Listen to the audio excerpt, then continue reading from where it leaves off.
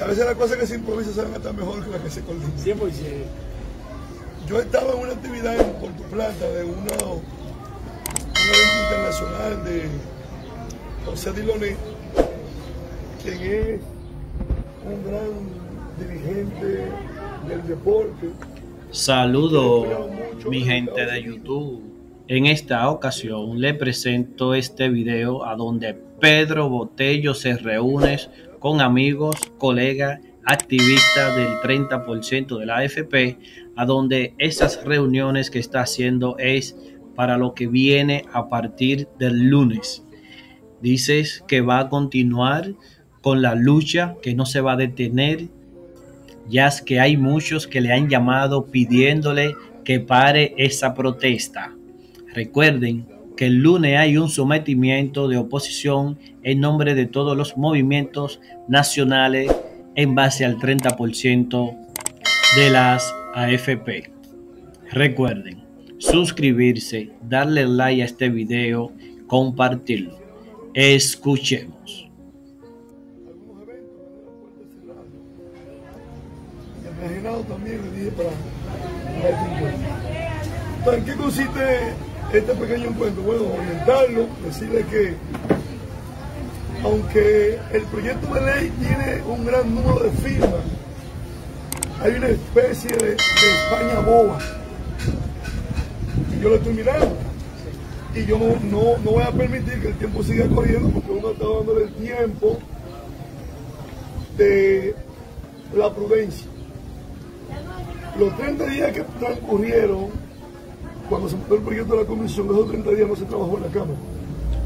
Dale, Félix. O sea, primeramente porque se estaba viviendo el momento de la pandemia, la situación dentro de la Cámara, y luego cuando se declara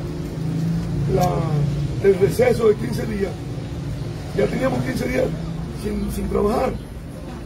Entonces uno tiene que ser coherente, tiene que ser prudente, porque si yo, vino, si yo vengo y planteo en el hemiciclo un desapoderamiento de la comisión, te van a preguntar, tú presides una comisión, tu comisión se reunió, yo obviamente voy a decir, no, mi comisión no se reunió, entonces si tú no te reuniste, ¿por qué tienes que yo me- ¿por qué Suscribirse, tú que yo me darle like a este video, Entonces, compartir. Una cosa, una cosa tiene la otra, entonces hay que ser, hay que ser coherente. A nosotros nos pueden lanzar todo tipo de ataques, pero sin fundamento. Porque al final yo lo respondo todo y digo, eso no es así, eso no es así, eso no es así. Y quedan sin efecto, porque uno, uno tiene para responder. Pero si tú vienes y haces un planteamiento y te vas a una nueva confrontación pidiendo algo que ni siquiera tú lo hiciste, pues es algo irracional. Van a decir, pero el diputado quiere que la comisión se reúna, pero sin embargo, él no reunió su comisión en 30 días, ni convocó una reunión con su comisión, pero quiere que la mía se reúna. Pero uno está dándole, estamos dando el tiempo porque va a llegar el planteamiento y va a llegar la Recuerden suscribirse, darle like a este video y compartirlo. Esta es, esta es una lucha y seremos amigos, seremos todos, pero cada quien está defendiendo su interés. Y yo creo que estoy muy claro. Y yo he tratado de mantener mi independencia dentro de la Cámara. Eh, soy de los diputados que no visito la oficina del presidente de la Cámara y que no ando pidiéndole asistencia ni esa cosa. Cuando alguien me dice a mí que necesita una asistencia, yo le digo, bueno, yo te lo voy a dar, pero tienes que esperar que yo cobre. Te voy a dar de mis recursos porque no, no, no acostumbro a ir donde el presidente de la Cámara porque luego tú te descalificas. Exactamente. Si tú, andas, si tú andas pidiéndole cosas, asistencia y ayuda, al final tú no tienes calidad para tú pelear con- contra ellos y reclamarles, porque tienes que estar entonces en un bajo perfil y lamentablemente, pero esa, esa es la política, esa Así. es la política, porque aquí la gente cuando tú no, cuando tú no, no le das, dicen que tú no caminas. O sea, no, no, no caminas. Entonces, La política es así. uno trata de mantener y, y ver la forma como uno juega en todo este escenario, porque hay mucha complejidad. La gente no quiere que los diputados le den el barrilito, pero quiere que la gente, pero quieren que los diputados le den ayuda. le den ayuda. ¿Y cómo es eso? En el 2013 Abel Martínez lo quitó. En el 2013 Abel quitó el barrilito, o sea, eso se eliminó. Ahora los senadores lo, lo tienen. El de aquí recibe un millón y pico de pesos para, para asistencia, para, para ayudar a las personas. Un millón trescientos nada más. pero a los diputados no le dan eso ya. Le dan otro programa, pero son están vinculados directamente a la persona que están. Y lo que daban era 50 mil pesos. O sea, te dan 50 mil pesos tú tienes que buscar 200. Tu sueldo y, y- y algo más tienes que buscar. Porque lamentablemente esa era la sociedad que hemos heredado del, del clientelismo. Bueno, pero lo cierto de todo esto es, estamos preparados para, para retomar la Suscribirse, lucha. darle like a este video, Pero no solamente se trata de decir, vamos a la calle. Porque la, la lucha, quienes han participado en la lucha de Santiago, la representación de Puerto Plata, Recuerden, suscribirse, darle like a este video y compartir.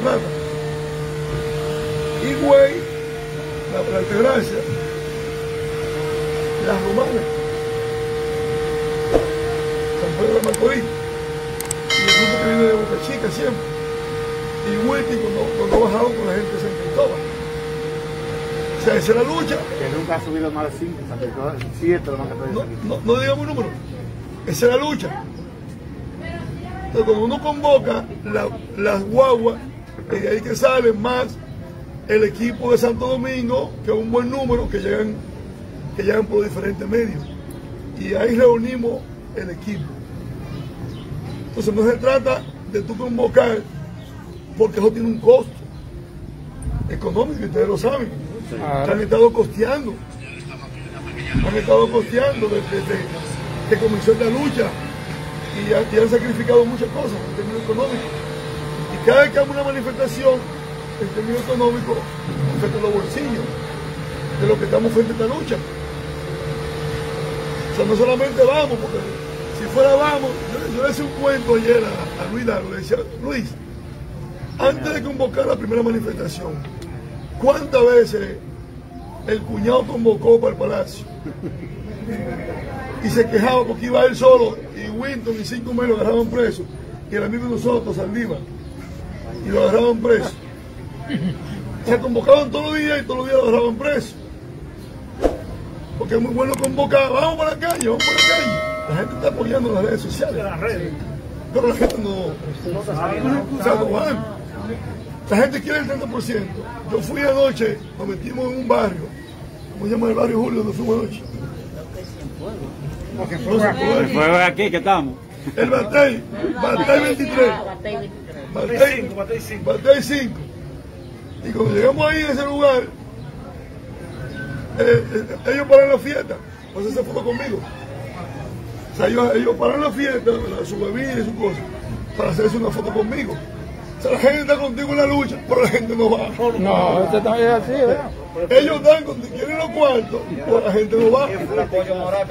Yo voy al supermercado y todo el mundo me dice, ¿cuándo es? ¿Cuándo es? Eso cuándo lo necesitas. Pero no Pero la participa. gente no va. Bueno, el día que hicimos la reunión de la mesa del diálogo en el Palacio, el viceministro Lugo de Comunidad comenzó la reunión diciendo, bueno, yo quisiera que este dinero lo dieran porque yo lo necesito, yo tengo un dinero ahí. Ese fue el viceministro que está en la mesa de frente a nosotros. Parisa tuvo que interrumpirlo. Recuerda, José Luis, el viceministro de Comunidad, Lugo, cuando comenzó su reunión, dijo, yo necesito mi dinero también. O sea, porque todo el mundo necesita el dinero. Y que a lo mejor el 30% sea lo único que la gente disfruta. Vean bien, eso de aumentar la edad es porque la FP no, no están preparados para entregar el grueso del dinero en el 2033. Y cuando llegue el 2000, si, si ellos no logran aumentar la edad, el grueso, el grueso que hay que responder en el 2033, que se arma una revolución. Si no se arma ahora, en el 2033 se va a armar la revolución del 30%. Y la gente se va a acordar de la lucha. Escuchen lo que le estoy diciendo. Si ahora, porque si no tienen para buscar un 30%, ¿dónde van a buscar entonces 500 mil para responderle a toda esa gente? Porque es grueso. En el 2033 se cumplen 30 años. Se cumplen 30 años de seguridad social. Se cumplen 30 años de aplicación. Y por ende, José Luis, por ende, Recuerden suscribirse, la darle like a este video a y compartirlo. En el 2001. Recuerden Todo esto comenzó a suscribirse, cotizar en el 2001. darle like a este en el video, 2033 compartirlo. hay que entregarle su pensión. ¿Y de dónde las AFP van a buscar el dinero para pagar la pensión si ahora, si ahora que se han ganado casi 50 mil millones de pesos, lo que administran los intermediarios, si ahora que estamos a la mitad del proceso, ellos dicen que no lo tienen, ¿qué garantiza Diloné que en el 33 ese dinero va a estar? Si ahora no lo tienen. Si no lo tienen ahora, en el 2033 van a tener dinero. Inclusive yo tengo un dato, que en el 2028 es que ellos van a comenzar a dejar en caja el dinero para comenzar a entregar las pensiones basura en el 33, lo que quiere decir que todo el dinero de 2003 a 2028, es decir, los primeros 25 años va a ser para los bolsillos de esa gente. No, no, no solo para ellos, porque es que hay una complicidad. Hay una complicidad en- entre el Estado, entre el Estado y las AFP. Porque todo el dinero que entra en las AFP es el gobierno que lo manda. El dinero va entrando, ellos camuflajean, colocan una parte aquí, un poquito aquí, que no, que, que no, o sea, eh, muerta, o sea, ellos te, te colocan algún, al- algún dinerito, pero el 80% el dinero entra por aquí y sale por esta puerta.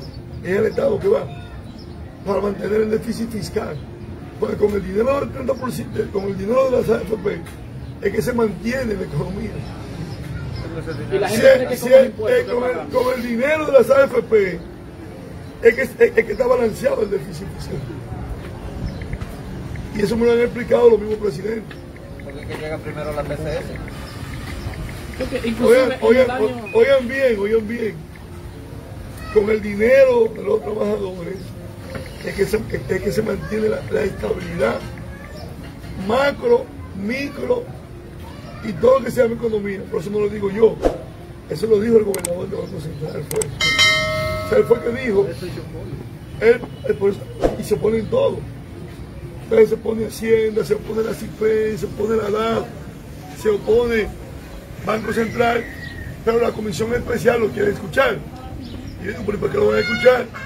Si en el portal, si en el portal del Banco Central, cuando usted entra a su, a su- a su portal, el primer documento que está ahí es, es la oposición al 30%. Y la, la DAF, la CIPE y Hacienda, en su portal, esa es su posición. La posición que tiene el Banco Central. Entonces nosotros estamos viendo Recuerden suscribirse, darle like a este video y variando. Y que se van a reunir mañana en la comisión. Vamos a ver cuál va a ser la decisión de ellos, porque un buen grupo de los que suscribimos el proyecto no tuvieron ese día. Entonces hay que concentrar la lucha en torno a la comisión especial. Es la comisión especial. ¿Para cuándo? A la comisión especial. Comencé a preguntarle a los miembros, ¿para cuándo? El mareo. Si está en el portal, la opinión, ¿para qué lo van a escuchar? O sea, ¿por qué dan la vuelta? Queremos una decisión. O sea, hay que pedirle la decisión ya a la comisión, porque yo, yo, lo voy a, yo lo voy a dar los 30 días. Yo lo voy a dar los 30 días. Para mí los primeros 30 días yo no lo voy a contar. Entonces, sumado todo, serán 60. Pero ya, va- ya los 30 días van lejos, los 30 días van lejos ya. Ya va por la mitad, son como 15 días más. Como se le estos días que yo, que yo le calcule 60 días, entonces yo voy a pedir el desapoderamiento y el hemiciclo tiene que votar. Que por eso que dice el, el amigo que soy un abusador porque quiero exponer a mis colegas a una votación para que el país vea. Por eso que el letrero dice, hoy se sabe quiénes somos, porque había que votar ese día. Entonces, ese letrero por eso no ha perdido su vigencia. Cuando llegue ese momento, yo voy a pedir el desapoderamiento y que se ponga en la agenda para conocer el proyecto. Entonces, él va a tener que someterlo. Yo no sé cuál va a ser su generación. Recuerden suscribirse, darle like a este video y compartirlo. Yo no quiero llegar a ese momento de nuevo, pero mi posición la voy a plantear en el hemiciclo. Antes de que ustedes hagan algunas intervenciones, yo quiero decirles que para mañana vamos a depositar en Secretaría General todas las documentaciones y cuando se depositen yo le voy a pedir a la comisión especial que le dé un tratamiento de iniciativa popular al proyecto, como el respaldo de las firmas que se van a depositar. Aunque no tenemos el número, el número completo, pero sí tenemos que abrir de nuevo la, la plataforma para involucrar más personas en la firma. No lo que llenamos, sino para involucrar más personas en la firma para tomar, para, para pasándola todo este tiempo depositando documentos. Recuerda, Si mañana no tenemos a Antonio Marte, darle like a este video, entonces compartir. Hacemos otra entrega. Y cada vez que tengamos un paquete, lo que vamos a ir depositando. Esta es la segunda entrega, la tercera entrega, la cuarta entrega, la quinta entrega. Y con esto completamos un millón. O sea, mantener el tema a nivel de Secretaría General en movimiento, a nivel de comisión, o sea, presión por aquí, la presión de las redes sociales, la presión de las manifestaciones, la presión mía en el hemiciclo, o sea, es la haré partiendo por todas partes. O sea, candela por todas partes. Entonces, ya luego de ahí, luego de mañana, que hagamos el depósito de los documentos, vamos a hacer una rueda de prensa y vamos a dar a conocer la agenda del inicio de movilizaciones. Comenzamos aquí en Santiago el sábado 10 y de aquí nos vamos a Puerto Plata, ah, perdón, a La Jabón Bonao la lluvia anoche. y, Se lo podía anunciar. y luego nos vamos a Bonao. O sea, vamos a hacer recorrido y vamos a ver si la gente de Puerto Plata también quieren ponerse en la agenda y Henry, la gente de San Francisco. O sea, vamos a movilizar, vamos a movilizar toda el área del Cibao. El objetivo de la movilización es fuera de la ciudad, es porque el 16 de agosto, con tiempo de antelación, vamos para la capital. Si Dios quiere. Ese día, ese día, vamos para la capital. Recuerden suscribirse, darle like a este video Vamos y movilizando en el compartir. Palacio Nacional. Vamos movilizando en la DA. Vamos a visitar las cuatro, las cuatro AFP de este tamaño, las cuatro grandes, y vamos a tomar una avenida importante al final. Si hay que ir con proteína, hay que ir con su botellita de agua al lado, Vinagre, su- su- vinagre. Su, cartucho de vinagre. Lleven todo porque nosotros vamos a marchar Preparado. pacíficamente. Si tenemos una gran multitud, no tenemos que forzar con nadie. Nosotros pasamos caminando. Las vallas, cuando están paradas, nosotros pasamos caminando encima de las vallas. El día del palacio ellos no la abrieron. O sea, Ellos la abrieron. nosotros, si las vallas, aunque las vallas estén adelante, ahora nosotros vamos a anunciar nuestras manifestaciones. Y lo vamos a comunicar a, a las autoridades con tiempo desde ahora. O sea, desde ahora, bájale volumen. Desde ahora, desde ahora vamos, vamos, a, vamos a pedir los permisos del lugar, vamos a justificar todo, pero que nadie no haga ruta. No, Nosotros es. vamos a salir, Tiene que haber un plan B. Un plan B, como lo Pero- dijeron que pero, pero, vamos a fabricar ya el paso. ¿a dónde va? Recuerden, como dice José Luis, el plan B, ellos se concentran en mí, Sí. pero esas son parte de la estrategia, porque como estamos transmitiendo en vivo y el DNI, todo el mundo está viendo lo que estamos haciendo aquí. Sí.